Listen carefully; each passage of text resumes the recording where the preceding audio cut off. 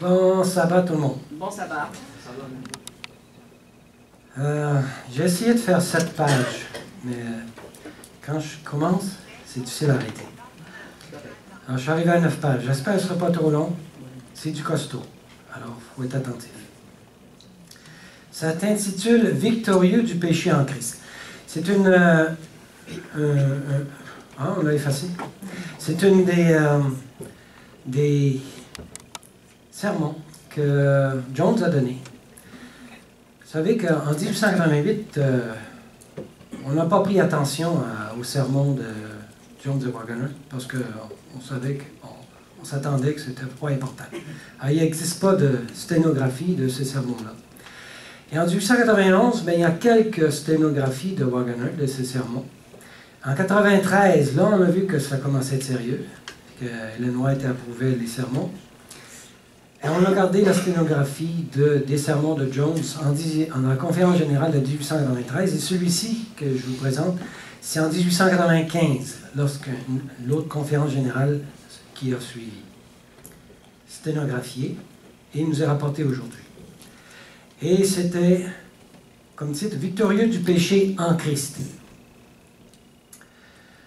Il est écrit dans Romains, chapitre 7, verset 25, Paul nous dit Je suis par l'entendement esclave de la loi de Dieu. Ça, veut dire qu'il a pris la décision, selon sa pensée, d'être esclave, de faire la volonté de Dieu. C'est dans le domaine des pensées que la loi de Dieu est observée, que la bataille avec le péché se déroule et que la victoire se gagne. La convoitise de la chair, on parle de convoitise des yeux et l'orgueil de la vie. Vous avez entendu ça dans, vous avez vu ça dans la Bible. La tentation consiste en ces tendances au péché qui sont dans la chair et qui nous attirent. Mais la tentation n'est pas péché. Tant que le désir n'est pas chéri, le péché n'existe pas. Mais dès que le désir est chéri, dès que nous y consentons, que nous l'accueillons dans l'esprit, il y maintenons, alors là, il y a péché. Que ce désir se concrétise en un acte ou non, le péché est commis pareil. Dans l'esprit, en fait, nous avons déjà goûté ce désir.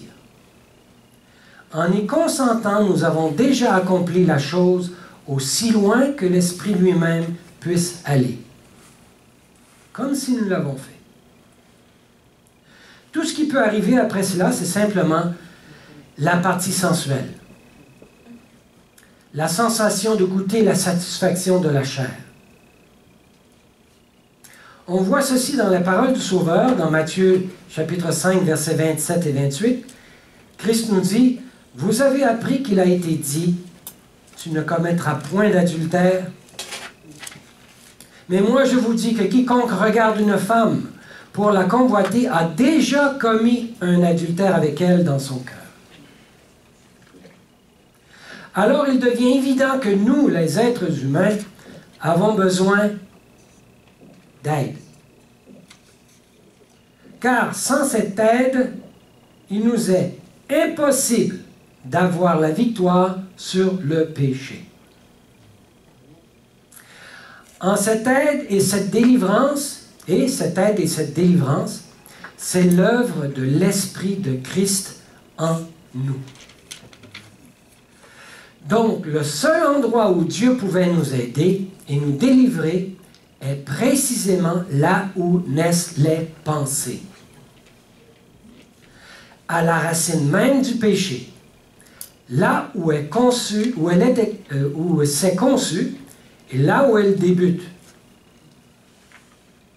Aussi, quand Christ fut tenté et éprouvé, quand on cracha sur lui, quand on frappa au visage, on le frappa au visage, on a tiré sur sa barbe, On l'a frappé sur sa tête au procès de Jérusalem. Et dans tout son ministère public, quand les pharisiens et les sadducéens, les scribes et les prêtres, avec leur iniquité et leur hypocrisie, qu'ils connaissaient, faisaient tout leur possible pour l'irriter et l'exciter, quand il fut constamment mis à l'épreuve toute sa vie, sa main ne se leva jamais pour rendre son coup, ou l'appareil, pour se venger, pour démontrer que ça ne faisait pas son affaire. Il y a un miracle là. Et c'est ce que Dieu veut faire avec chacun d'entre nous. Vous avez certainement eu des situations dans votre vie, dans votre jeunesse, où on vous a craqué jusqu'à la limite. Et si vous n'avez pas explosé, il manquait peut-être juste une parole pour que vous explosiez, que vous rendiez, pour que ça sorte. J'ai déjà vécu cela, puis je rends grâce à Dieu que je n'ai pas explosé parce qu'il manquait juste quelques paroles, puis la personne, je ne sais pas ce qui arrivait avec elle, mais je ne donnais pas cher à sa peau. Euh, je suis colérique. je dois faire attention à mes sentiments humains. Et grâce à Dieu, euh, c'est changé aujourd'hui, j'espère, et pour toujours. Il n'eut jamais Jésus à réprimer un tel geste dans sa vie. Car il ne se permit jamais de chérir l'idée de faire un tel geste. Ça me fait rappeler ma mère. Quand on avait neuf enfants chez nous, c'était une grosse famille. Et euh, des fois, elle perdait patience. Puis elle disait, ah ben, je vais l'étriper celui-là. Mais je réalise aujourd'hui que le mot étriper, c'est pas mal plus fort que ce que je pensais. étriper, ça veut dire enlever les tripes de quelqu'un. Wow! Je ne sais pas si elle, savait ce qu'elle disait, mais en tout cas.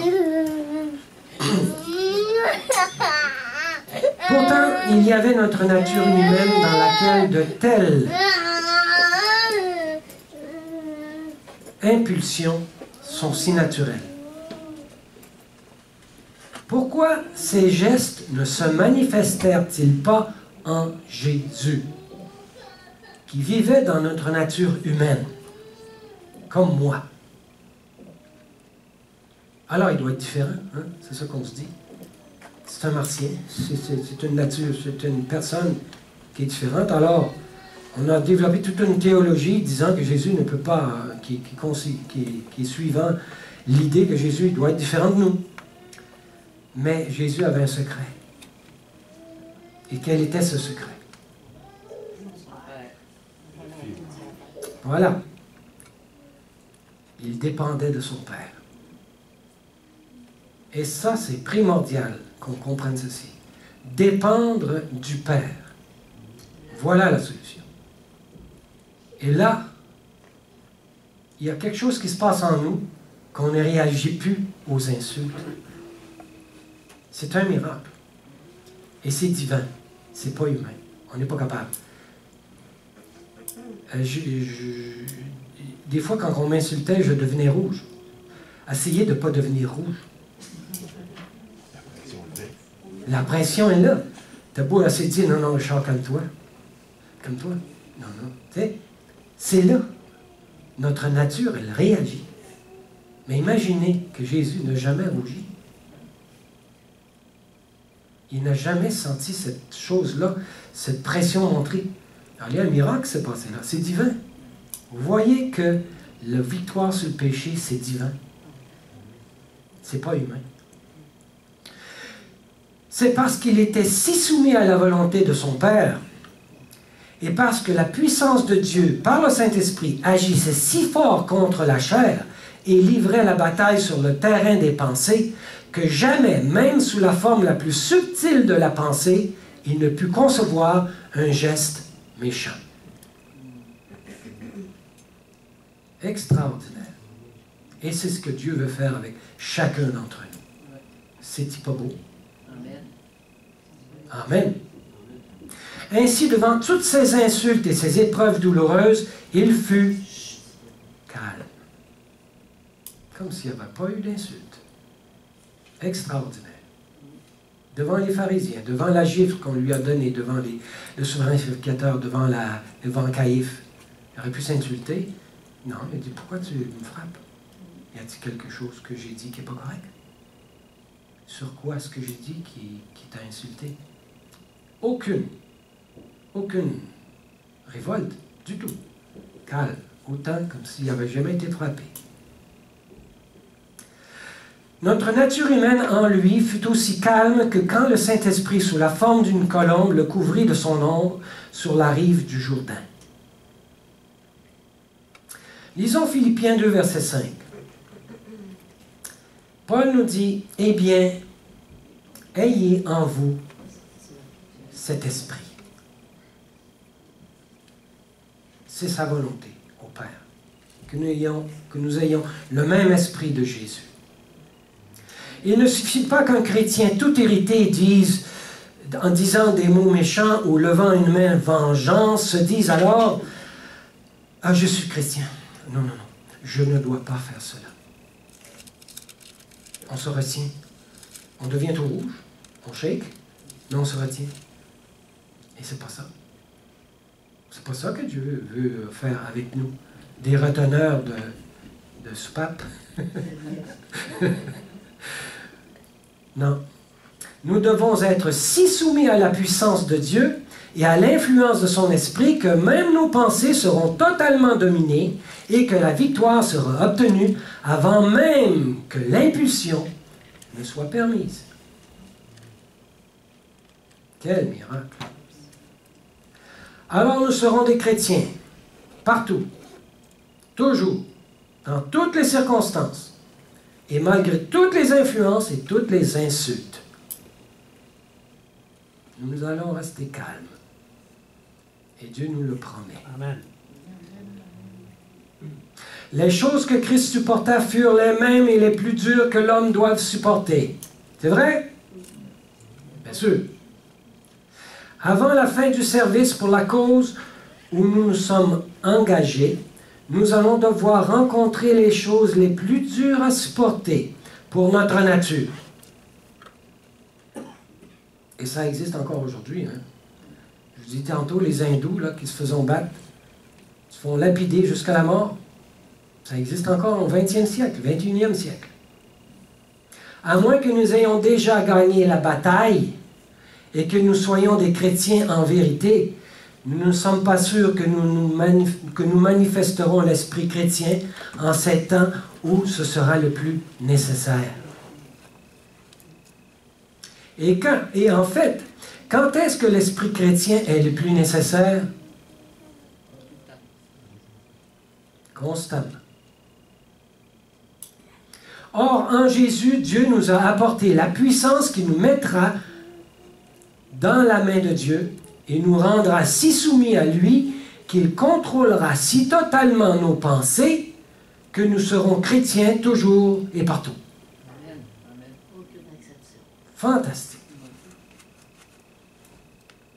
Dans 2 Corinthiens, 2 Corinthiens, chapitre 10, verset 5, il est écrit Nous amenons toute pensée captive à l'obéissance de Christ. C'est pas humain, ça. Mais c'est une promesse. Alors, les dix commandements sont un ordre ou une promesse? Ce sont tous des promesses que Dieu va faire en chacun d'entre nous. Extraordinaire.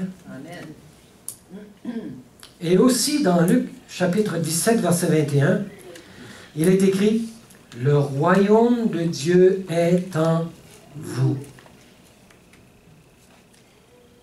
Hé, le royaume, c'est un roi, il y a des lois, il y a, des, il y a quelque chose qui se passe dans un royaume. Christ demeure en nous et il est le roi.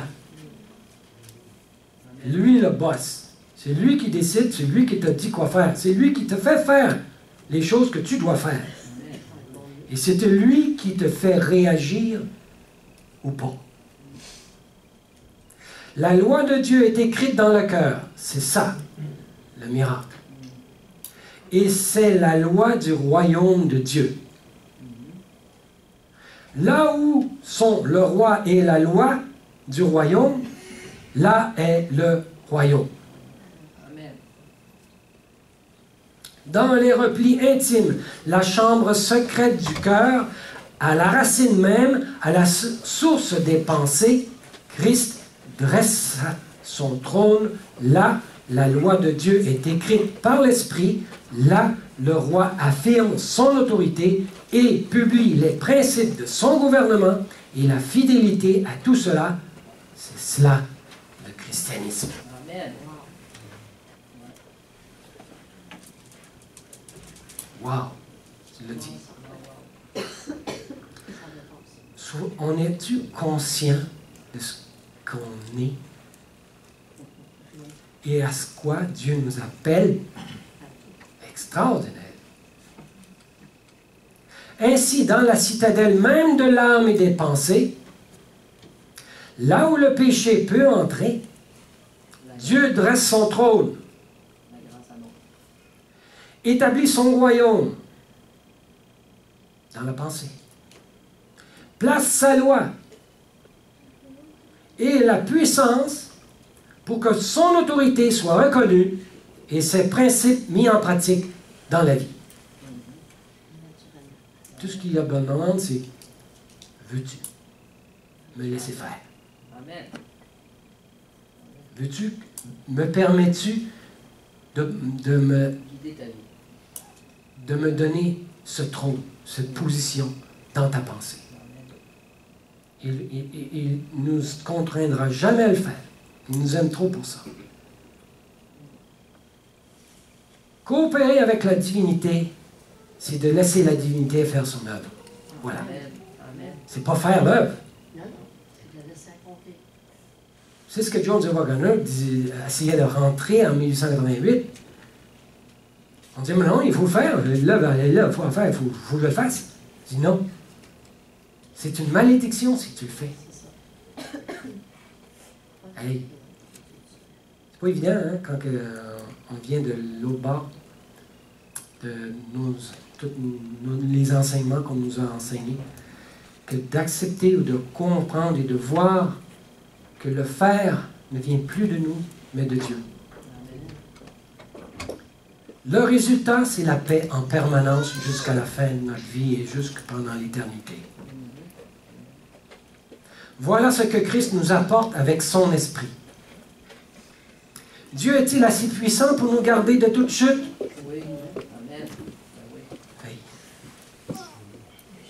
C'est une promesse. Quand Christ avait notre nature, il l'avait dans son être divin. Mais il n'en manifesta rien dans cette position. Que fit-il de son être divin, Jésus, quand il devint nous? Il le retint sans cesse il s'en dépouilla.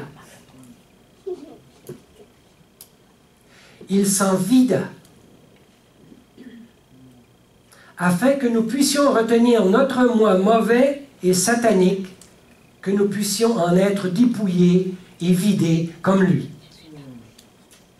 Comme lui s'est vidé de sa divinité, il s'attend de nous que nous nous vidions de notre moi. C'est pas compliqué, hein? Or, dans la chair, il ne fit rien de lui-même. Jésus. Extraordinaire. Hein? Jésus n'a rien fait de lui-même quand il était sur cette terre, dans notre chair, semblable à nous. Jean 5, verset 30. Jésus a dit, De moi-même, je ne peux rien faire.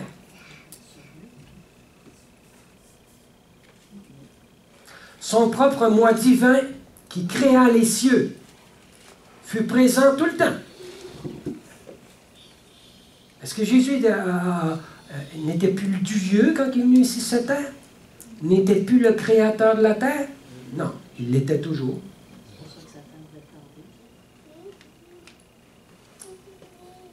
Mais du début à la fin, Jésus n'a rien fait de lui-même. Il retint son moi. Il s'en dépouilla pour l'éternité. Qui donc accomplit cela? Jean 14, verset 10. Jésus a dit, le Père qui demeure en moi, c'est lui qui fait les œuvres que je fais. Quel évangile Quelle vérité Donc, qui s'opposa à la puissance de la tentation en Christ, ayant notre chair Qui s'est opposé à cela dans la nature, dans Jésus? Le Père. C'était le Père qui était là. C'est le Père qui le garda Jésus du péché. Lisons 1 Pierre, verset 1, euh, chapitre 1, verset 5.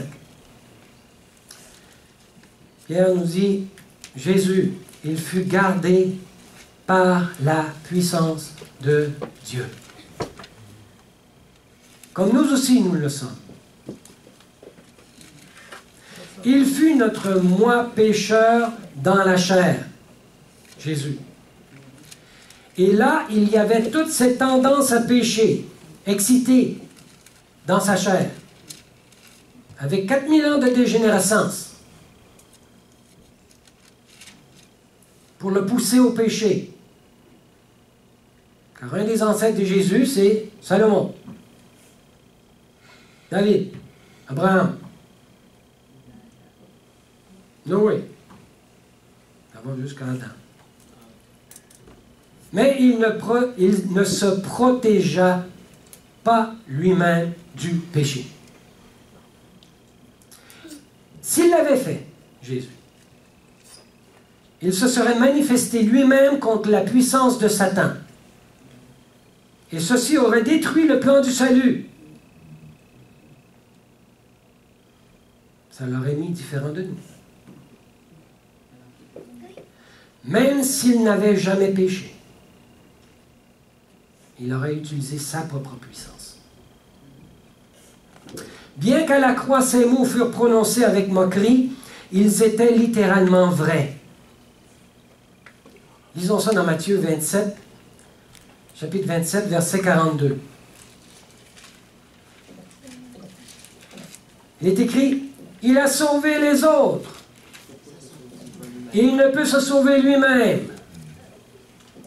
Parole cynique, mais qui était vrai. Il ne pouvait pas se sauver lui-même. Parce qu'il aurait détruit le plan du salut. Donc, Jésus maintint son moi entièrement de côté. Son moi divin. Il se dépouilla de lui-même en se tenant en arrière, ce qui donna au Père l'occasion d'intervenir et d'agir contre la chair pécheresse, de se sauver et de nous sauver en lui. Il était tenté, Jésus, de se sauver lui-même. Il pouvait le faire. Oui. Mais il aurait dit non. Je me remets à mon Père. Les pécheurs sont séparés de Dieu et Dieu devait revenir à l'endroit où le péché l'avait chassé dans la chair de l'homme. Il ne pouvait pas venir à nous, ni en nous, car nous ne pouvions supporter sa présence. Donc Christ vint dans notre chair. Et le Père habita en lui. Il pouvait supporter la présence de Dieu dans sa plénitude. Et ainsi Dieu pouvait habiter en lui dans sa plénitude. Et ceci pouvait nous apporter la plénitude de Dieu dans notre chair.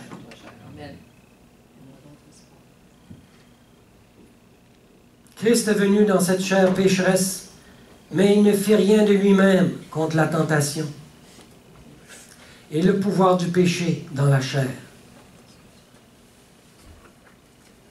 Souvent, on, se crée toutes sortes de choses. Hein.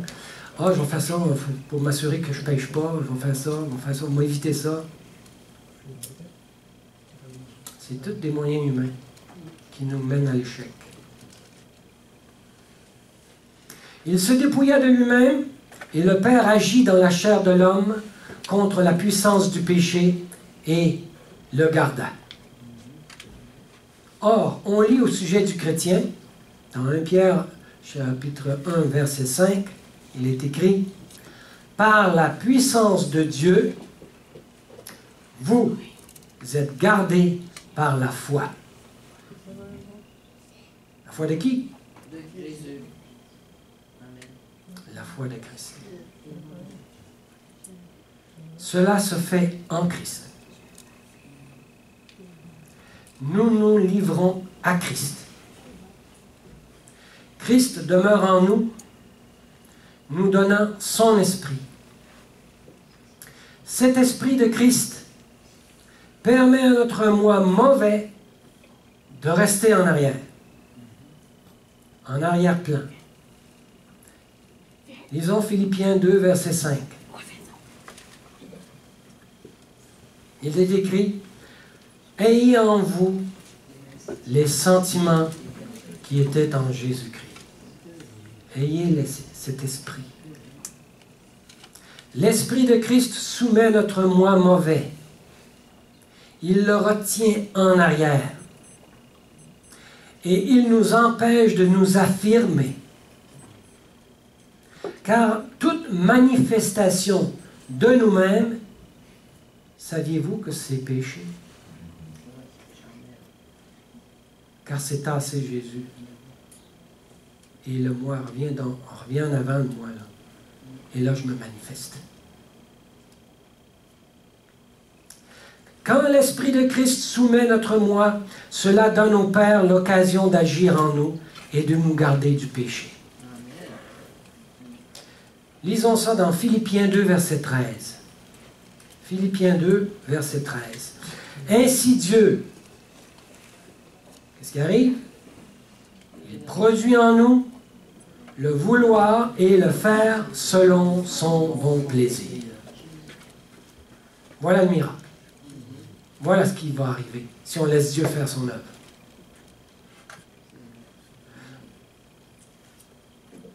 Est-ce que l'Esprit de Dieu peut en anéantir le moi? Bien sûr que oui.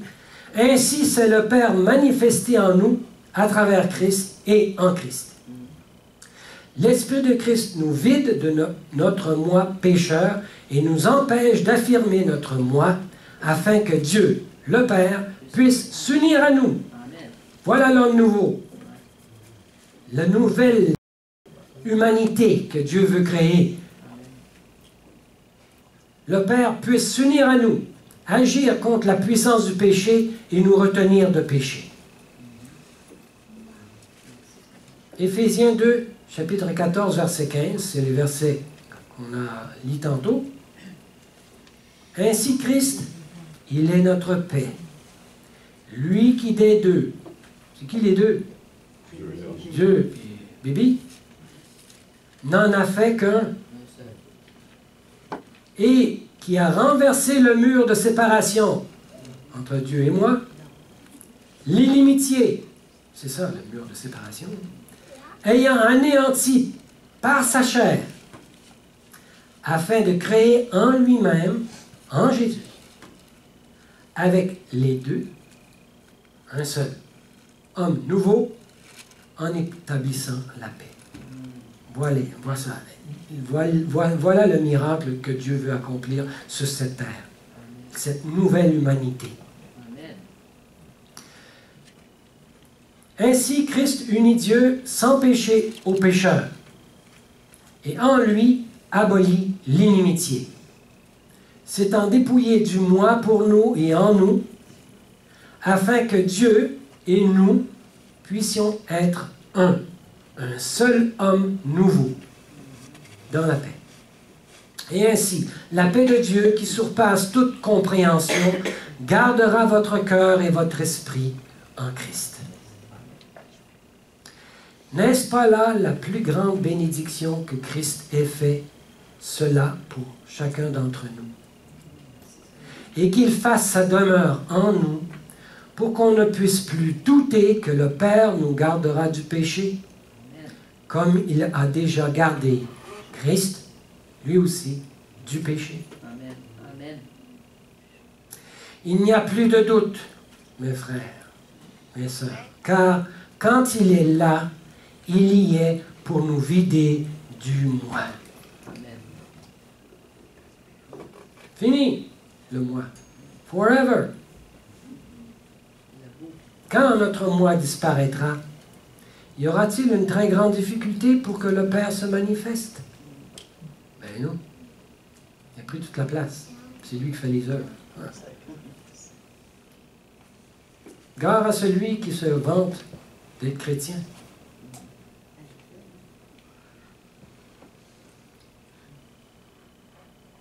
Mais gloire à celui qui rend la gloire à Dieu.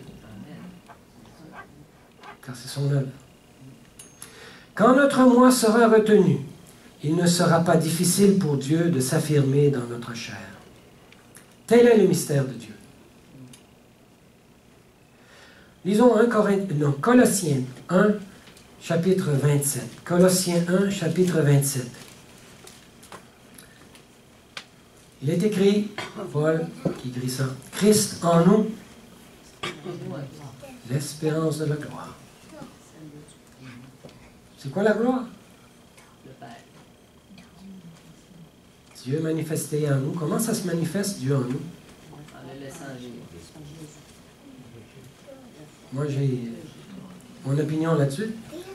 La manifestation de Dieu en nous se manifeste par l'agapé. On a, déjà fait des sermons là-dessus. Ce qu'est l'agapé. Jusqu'où l'agapé peut aller. C'est impossible à un humain d'agir et d'aimer agapé. Mais c'est divin. Et voilà comment ça va se manifester l'espérance de la gloire. Cette gloire-là, c'est une manifestation de l'amour de Dieu qui est l'agapé dans chacun d'entre nous. Dieu manifesté dans la chair. Voilà l'agapé. Car quand Jésus vint dans le monde, ce ne fut pas Christ manifesté dans la chair, mais Dieu manifesté dans la chair. Car Christ a dit, dans Jean 14, verset 9, Jean chapitre 14, verset 9, il a dit, Celui qui m'a vu, a vu le Père. Il a vu Christ. Il a vu le Père. Il a vu le Père. Pourquoi il pouvait dire ça? Parce qu'il a, mis sa divinité en arrière. Il dit, c'est pas moi qui vis, comme Paul. C'est le Père qui vit en moi.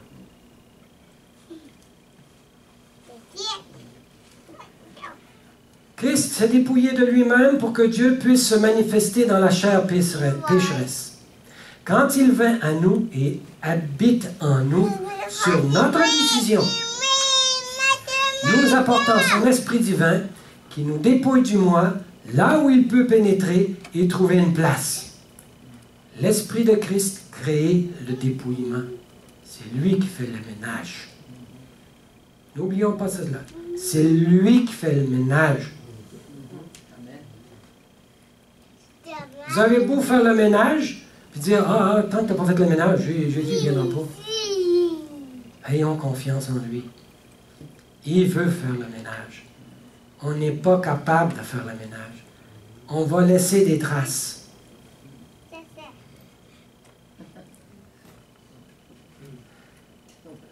Quand il vient à nous et habite en nous, sur notre décision, nous apportant son Esprit divin qui nous dépouille du moi, là où il peut pénétrer et trouver une place, l'Esprit de Christ crée le dépouillement.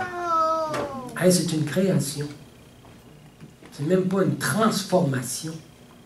On devient une nouvelle création. Tu sais, on dit, euh, un jour, ça va se faire. Un petit peu de péché de moins en moins chaque jour. C'est une création.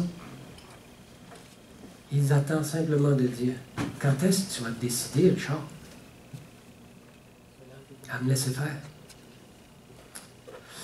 Il crée en nous le dépouillement, l'abolition, la destruction, l'anéantissement du moi. Et ça, c'est une œuvre divine. Dès que cela arrive, Dieu agit pleinement et se manifeste dans la chair pécheresse, bien qu'elle soit pécheresse jusqu'à la fin de notre vie. Attendez-vous pas d'avoir une chair sainte. Attendez-vous pas que les tentations vont être terminées. Elles vont toujours être là. Et Dieu est toujours là aussi. Et à tous les matins, levez-vous, Seigneur, prends possession. Je me donne en entier à toi, puis fais ton œuvre. Je te le permets. Voilà ce qu'est la victoire. Voilà ce qu'est le triomphe. Ésaïe 60, verset 1. Ésaïe nous dit, Lève-toi et sois éclairé. C'est profond ça. Parce que le message de 1888, c'est une lumière. C'est une, c'est une doctrine. Et c'est ça la pluie, l'arrière-saison. C'est ça le grand cri. C'est un message qui est une lumière. Je me vois euh, comme un bonhomme avec une ampoule sur la tête. Puis là, ça veut dire comme il hey, j'ai des nouvelles. quand on fait des croquis, on mettait une ampoule sur la tête de quelqu'un. Ça veut dire il est éclairé d'un coup. Je souhaite ça à chacun d'entre nous. Soyons éclairés. Lève-toi, sois éclairé. Ainsi, par l'Esprit, nous servons la loi de Dieu. La loi est manifestée. Est-ce qu'on abolit la loi? Est-ce que on est en train d'abolir la loi avec le message? On est en train de la confirmer. On est en train de dire, c'est sûr qu'on va la garder, la loi. Mais pas la manière que tu dis. La loi est manifestée, elle est accomplie. Ses principes brillent dans la vie, car la vie est le caractère de Dieu manifesté dans la chair de l'homme.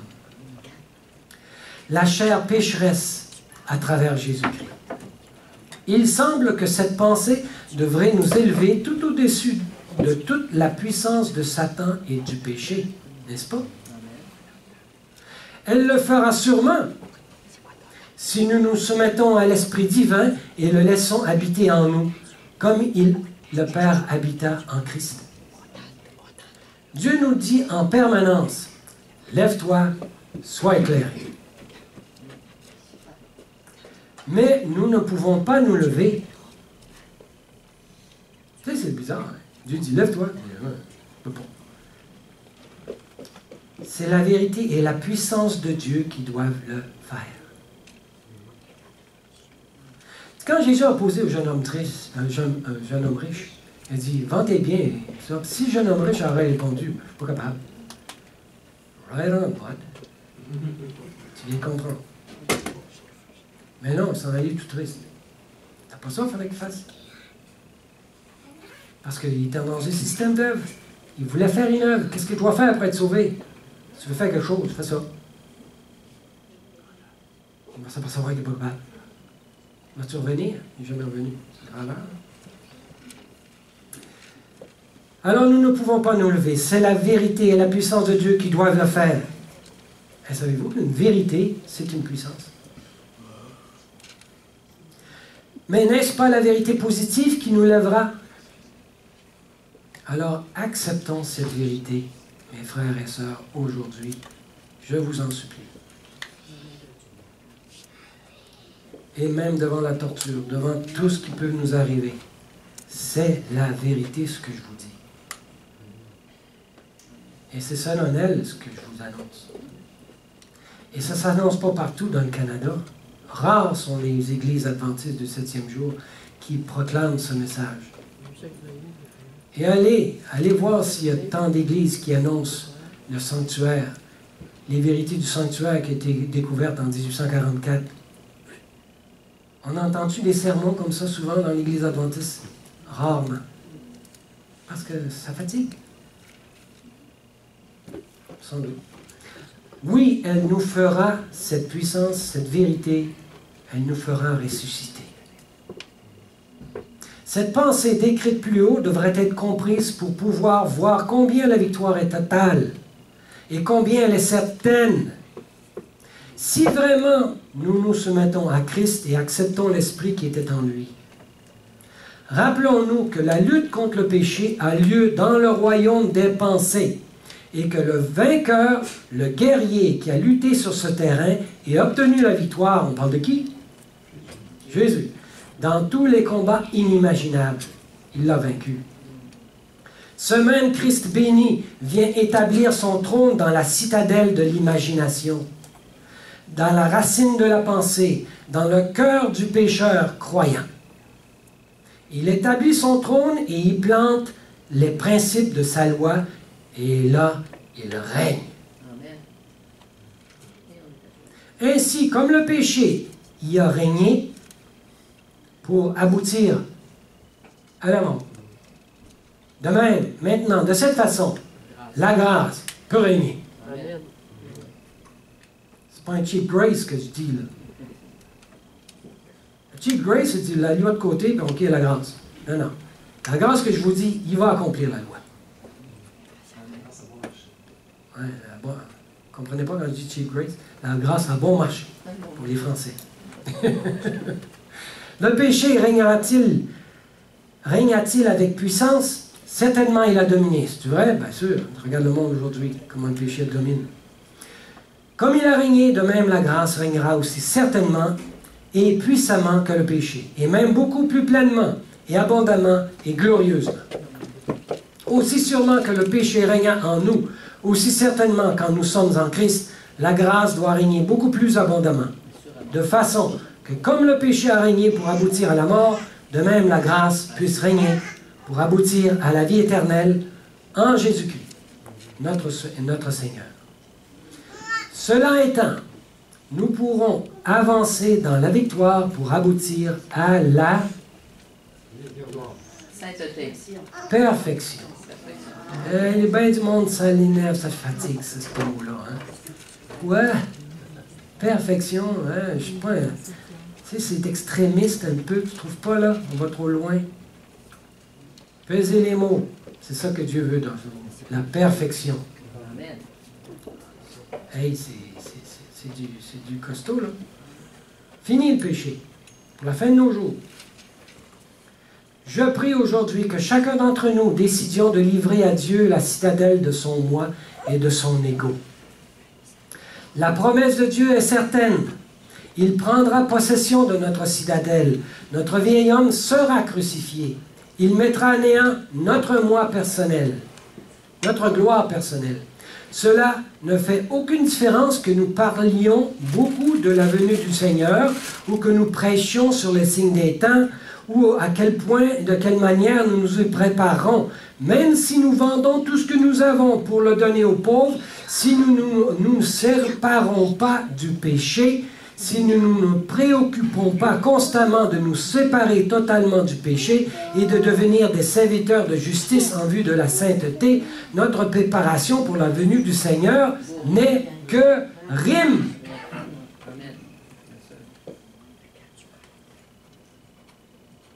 Il ne rime à rien. Et notre profession n'est qu'une supercherie. On fait semblant. Aimez-vous ça des acteurs? On fait semblant d'être des chrétiens. Alors, ma question maintenant est celle-ci. Êtes-vous séparés du péché? Et si vous êtes séparés du péché, alors vous êtes prêts à rencontrer le Seigneur. Mais n'oubliez pas que seul Dieu peut se nous séparer du péché. Et il peut le faire et il veut le faire. Je prie Dieu que tous ceux qui m'écoutent aujourd'hui décident de laisser Dieu les séparer du péché. Amen.